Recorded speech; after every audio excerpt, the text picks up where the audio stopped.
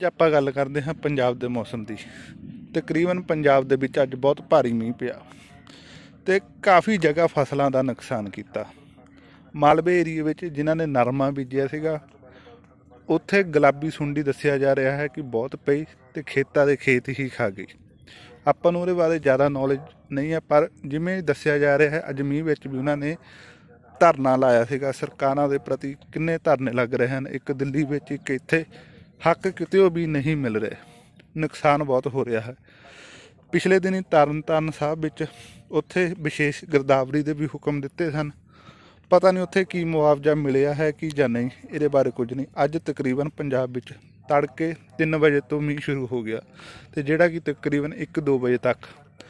ਲਗਾਤਾਰ ਮੀਂਹ ਪਿਆ, ਜੋ ਇੰਨੇ ਬਹੁਤ ਚਿਰ ਬਾਅਦ ਪਿਆ, ਆਪਣੀ ਮੇਰੀ ਸੁਰਤ ਵਿੱਚ ਬਹੁਤ ਟਾਈਮ ਬਾਅਦ ਇੰਨਾ ਜ਼ਿਆਦਾ ਮੀਂਹ ਪਿਆ। ਤੇ ਤਕਰੀਬਨ ਖੇਤ ਬੰਨਾ ਵੀ ਇੱਕ ਕਰ ਦਿੱਤਾ। ਕਈ ਜਗ੍ਹਾ ਤੇ ਦੱਸਿਆ ਜਾ ਰਿਹਾ ਹੈ ਕਿ ਭਾਰੀ ਨੁਕਸਾਨ ਹੋਇਆ। ਜਿਵੇਂ ਕਿ ਕਈਆਂ ਦੀਆਂ ਅਗੇਤੀਆਂ 1509 ਬਾਸਮਤੀਆਂ ਲੱਗੀਆਂ ਹਨ ਉਹਨਾਂ ਦਾ ਵੀ ਨੁਕਸਾਨ ਹੋਇਆ। ਤੇ ਕਈ ਜਿਹੜੇ ਕਿ ਆਲੂ ਜਾਂ ਮਟਰ ਏਰੀਆ ਜਾਂ ਸਬਜ਼ੀਆਂ ਲਾਉਂਦੇ ਹਨ। ਉਹਨਾਂ ਦੇ ਤਕਰੀਬਨ ਝੋਨੇ ਪੱਕੇ ਸਨ ਜਾਂ ਹਫ਼ਤੇ 10 ਦਿਨ ਤੱਕ ਪੱਕਣ ਵਾਲੇ ਸਨ। ਉਹ ਵੀ ਦੱਸਿਆ ਜਾ ਰਿਹਾ ਹਨ ਕਿ ਡਿੱਗ ਪਏ ਹਨ।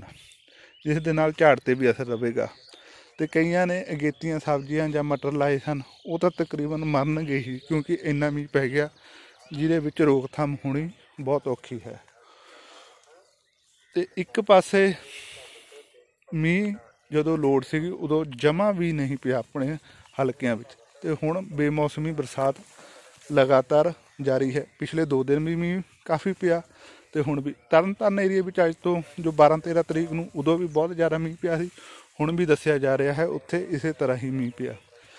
ਤੁਸੀਂ ਵੀ ਜਰੂਰ ਦੱਸਿਓ ਕਿ ਅੱਜ ਤੁਹਾਡੇ ਹਲਕੇ ਦਾ ਕੀ ਹਾਲ ਹੈ। ਤਕਰੀਬਨ ਸਾਡੇ ਤੜਕੇ 3 ਵਜੇ ਤੋਂ ਲੈ ਕੇ 2 ਵਜੇ ਤੱਕ ਯਾਨੀ ਕਿ ਤਕ, ਕਹਿ ਸਕਦੇ ਕਿ 8 ਤੋਂ 9 ਘੰਟੇ ਜਿਹੜਾ ਜ਼ਬਰਦਸਤ ਮੀਂਹ ਪਿਆ, ਵਿੱਚ ਥੋੜਾ ਟਾਈਮ ਹੌਲੀ ਹੁੰਦਾ ਸੀਗਾ ਤੇ ਫਿਰ ਤੇਜ਼ ਹੋ ਜਾਂਦਾ ਸੀਗਾ। ਹੁਣ ਧੁੱਪ ਨਿਕਲੀ ਆ, ਪਰ ਅਗਲੇ 2 ਦਿਨ ਪੰਜਾਬ ਦੇ ਮੌਸਮ ਵਿੱਚ ਫਿਰ ਇਹ ਦੱਸਿਆ ਹੈ ਕਿ ਮੀਂਹ ਪੈਣ ਦੀ ਪੂਰੀ ਸੰਭਾਵਨਾ ਹੈ। ਦੇਖੋ ਕੀ ਬਣਦਾ ਹੈ।